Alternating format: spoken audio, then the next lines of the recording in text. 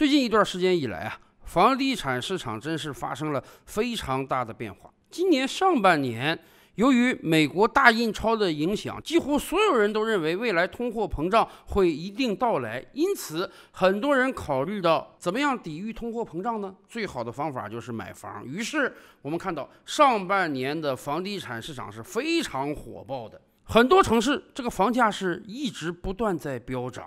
于是各个地方政府出台了密集的调控政策，有的地方呢严查经营贷。不能允许这个资金从实体经济流向房地产。有的地方呢，给出了二手房的指导价格，你这个中介不能漫天在喊价了啊！政府要给你这个二手房定价，高于政府定价的二手房不是不可以买卖，但是银行不会给你多贷款。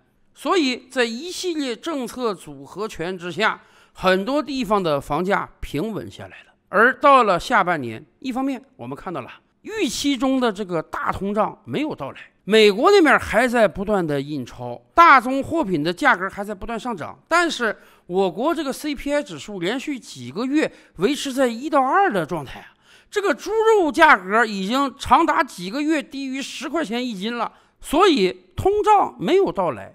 而与此同时呢，好几个房地产厂商遭遇到了困难。去年年底开始，央行对于各个银行和房地产企业画出了几道红线。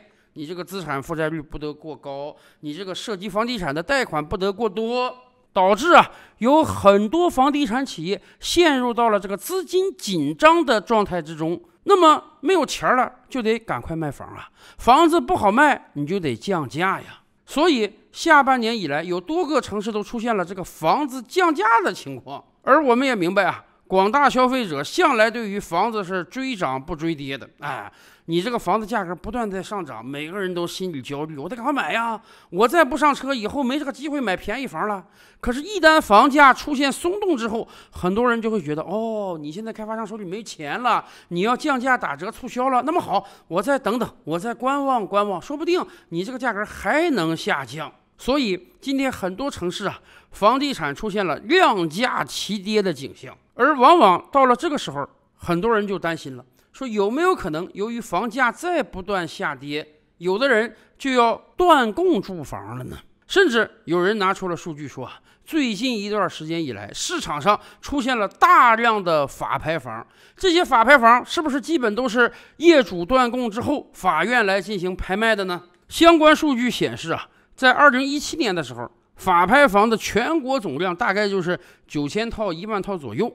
到了二零一八年呢，法拍房的数量上升到了两万套。二零一九年，法拍房数量五十万套。二零二零年，法拍房数量超过两百万套。很多人预测啊，到了二零二一年，今年全年的法拍房数量将达到三百万套到四百万套之多。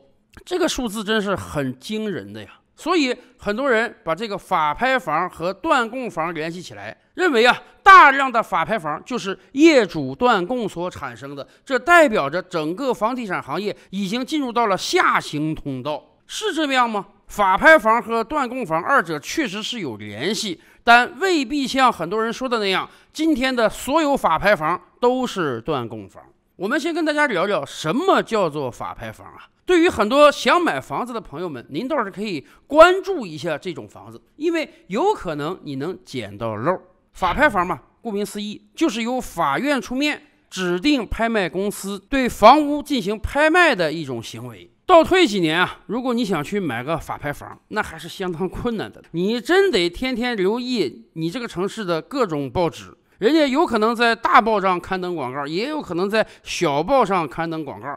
看到广告之后呢，你就可以跟拍卖公司联系，到这个房产处去看一看，然后在约定的时间到这个拍卖公司去举牌来买这套房屋。这两年可不同了啊，各大互联网平台都在助力法拍房，而各级人民法院呢也非常愿意把自己的法拍房拿到网上去拍卖，这样可以最大限度的吸引消费者来买，把这个房子卖上一个好价钱。如果您对法拍房有兴趣的话，你可以登录这个阿里、京东等多个互联网平台，就搜索法拍房，或者找这个法院拍卖这个栏目，你就可以看到，在你的城市，在你周边城市，甚至在全国任何一个城市，有很多正在进行中的法拍房。相对而言啊，人这个资料还是很详实的，会告诉你这个法拍房的业主是谁，他有多少资产被扣押了，法院指定了哪个拍卖公司在什么时候进行拍卖，而且相对而言还会把这个法拍房的所属权证啊、室内装修啊，通通拍照片给你，让你有一个直观的认识，而且告诉你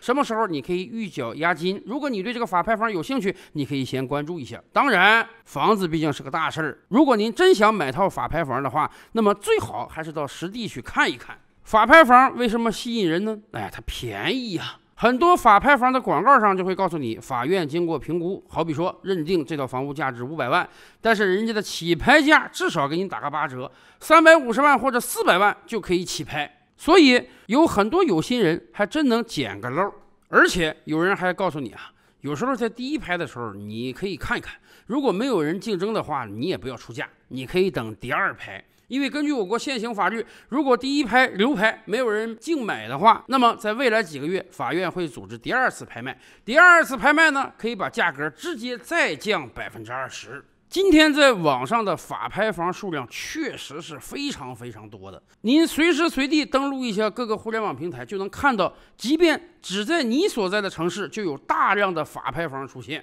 所以啊，这也使得很多人忧心忡忡。大家想，这是不是因为经济下行了，很多人没有收入了？哎，房价也在跌，所以很多当年买房的人干脆一断供啊，我不还钱了，然后这个房子就交给法院吧，让法院卖掉算了，我就不惹这个麻烦了，是这样吗？当然不是。至少到目前为止啊，我们可以断言，百分之九十九以上的法拍房都不是断供房。为什么这么说呢？以前我们就跟大家聊过。作为一个普通消费者，如果你贷款购买的是你唯一一套住房的话，你给他断供的可能性是非常非常低的。举个例子，假设你在几年之前买了一套房子啊，总价值三百万人民币。房子交付之后呢，你一家人就非常欢乐的生活在里面。那么这个房子实际价格的涨跌，对你日常生活应当是没有什么影响的。房价涨了，你固然高兴，哎呀，我现在也是有钱人了，三百万的房屋变成五百万了，那我也是百万富翁了。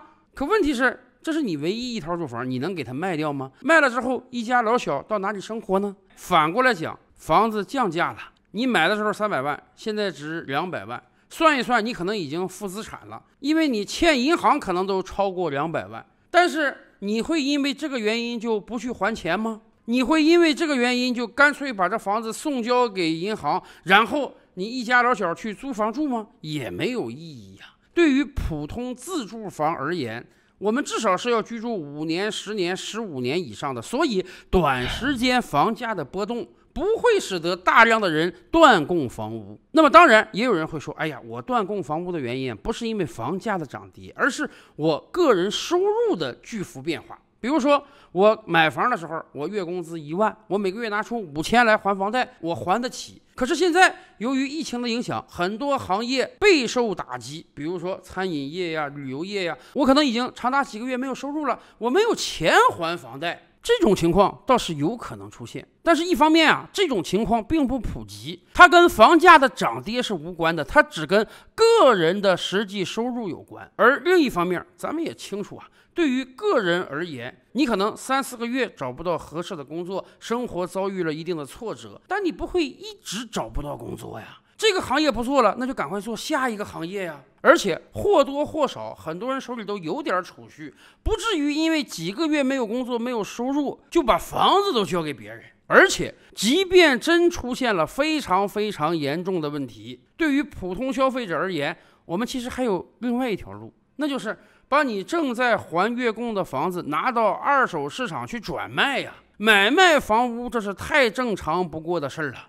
如果你真的就是因为没有收入还不起月供，或者家里出现了各种各样的变故，急需使用现金的话，那么很显然，把这个房子卖掉是获得现金最快的方法。很少有业主会因为一时啊这个周转不灵，干脆房子我就不管不顾了，我也搬走了，扔给银行了，让银行去起诉你，让法院去拍卖。这一折腾至少一两年之久啊！在这一两年之内，你既没有房子住，你也没有拿到钱，甚至有可能你这个房子卖的价格比二手市场还要低很多。不会有人做这样的选择呀！所以我们才会负责任的说，百分之九十九以上的法拍房，它根本就不是断供房。举个例子啊，前两年北京房价疯涨的时候，北京周边很多地区，比如说燕郊之类的，也盖出了大量的商品房。那个时候水涨船高，燕郊的房价也很高。然而这两年，由于各种各样的原因，燕郊房价大跌。很多购房者突然发现，我真的成了负资产了。我这房子买的时候三百万，我可能首付一百万，贷款两百万，还了两三年贷款之后，突然发现我这个房子价值只变成一百五十万了。我把这个房子卖掉了，还不够还银行贷款的。于是前几个月，互联网上出现了很多免费送房的人，是免费送吗？当然不是啊，人家说了，我这房子是给你了，但是欠的银行贷款得你给我还啊。所以他们一套房子都送不出去，为什么？接盘侠也不是傻子啊，与其给你还银行贷款，我拿这个钱儿先去买一套都合适啊。可是燕郊出现了这么多负资产的业主，却很少有人断供，为什么？大家清楚啊，我断供了，我这个钱儿将来也得还。房子拍卖了之后，不够的部分、差额部分我还得补，而且我这个人的信用记录就彻底完蛋了。所以大家宁愿每个月还着月供，再把房子放到二手市场上，看看能不能卖一个相对合理的价格。不管房地产市场走到什么状态，真正选择断供的人还是比较少的。那么，为什么这两年来会出现如此多的法拍房呢？实际上，大量的法拍房都牵扯各种各样的债务纠纷，有很多债务的数额实际上已经超过了房产原值了。对于这些业主而言，他就算把房子拿到市场上去变卖，也根本还不起欠债，那还不如我继续在这个房子中居住啊，能混一天是一天呢。所以，我们还特别要提醒很多想买法拍房的消费者，大家一定要注意啊！你去看这个公告的时候，你要仔细看这个房子是清退状态还是没清退，什么意思？现在有很多房屋，人家原房主还住在里面呢。法院拿出来拍卖，你就算花真金白银把这个房子买到手，产权证办出来了，你还牵扯一个清退问题。有可能原房主在房子里居住，有可能原房主已经把房子租给别人，而且签了很长时间的租约。虽然这个房子是你的，你也是经由合法程序买到手的，但也很有可能你住不进去。也就是说，很多法拍房那真的是个雷。如果你想捡便宜的话，你真的既得有火眼金睛的分辨能力，你还得有能揽得了瓷器活的金刚钻才行啊。所以，虽然市场上的法拍房越来越多，但是显然它跟很多人讲的那个断供房不是一个概念。但是反过来讲，这些年来，由于各种各样的原因，还真的有很多断供房慢慢进入到了法拍房市场，这也给我们所有消费者提了个醒：买房未必是一个只赚不赔的生意了。房价在涨了二十年之后，不一定未来会一直涨下去。所以呀，面对越来越多的法拍房，在买房之前，您可真得算好账啊！照吕拍案，本回书着落在此。欲知大千世界尚有何等惊奇，自然是且听下回分解。